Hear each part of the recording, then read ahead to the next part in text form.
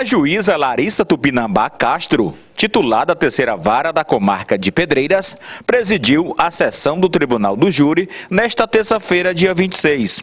No banco dos réus, Maria Senhora dos Santos da Silva, que estava sendo acusada pela morte de Raimunda Maria de Freitas, com um golpe de punhal na altura do peito. A ré foi considerada culpada pelo Conselho de Sentença e recebeu a pena de seis anos e seis meses de prisão a ser cumprida inicialmente em regime semiaberto. No dia 15 de dezembro de 2016, na Rua do Campo, em Trizidela do Vale, Maria Senhora desferiu um golpe de punhal no peito esquerdo de Raimunda, causando-lhe a morte. A ré morava no lugar denominado Bado Genésio, que era de propriedade do companheiro da vítima.